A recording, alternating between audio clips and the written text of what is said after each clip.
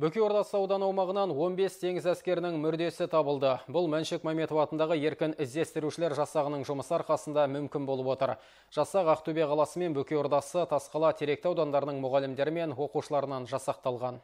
Бөкей Ордасы Сталинград майданның ең жақын тылы болғаны белгілі. Сондықтан ауданның Сайқын, Шоңай ауылдары мен Равнинный Молодец теміржол айрықтары арқылы шайқас алаңына қару-жарақ, азық-түлік, әскер тиеген пойыздар ағылды ал бұл жау назарынан тыс қалмады. 1942 жылдан бастап аталған мекендерді неміс әуе күштері бомбалай бастады.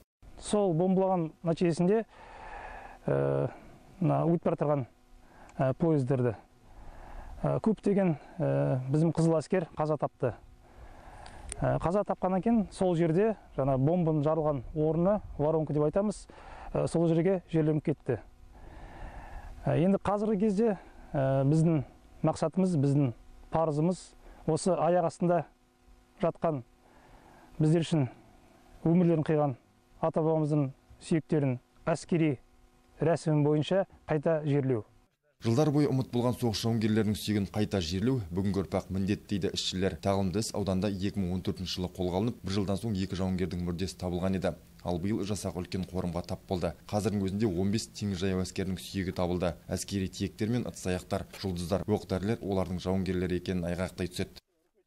В прошлом году мы здесь шұңқыр өте терең. Былтыр осы жерде жұмыс істеп едік қиын болды. Соған қарамастан биыл қайта оралдық. Бастапқыда беткі қабатта көң қоқыс жатты. Бірақ тереңдеп қазып едік бір жарым метрден соң жауынгерлердің сүйектері табылды. Біз бұл жерде үшінші жыл іздестіру жүргізудеміз.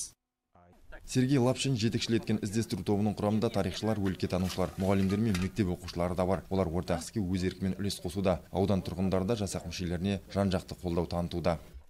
Екі үш күн бұрын ана шетте бір кісінің бір солдаттың денесін тапқан болатынбыз. Енді бүгін таңмен осы бір кісінің денесін таптық. Әлі жұмыс жұмыстар өтуде. Іздестіру тобының жұмысы осы аптаның аяғына дейін жалғасады. Рауан дәли ернар шәкенов алтынбек қабделов ақжайық арнасы.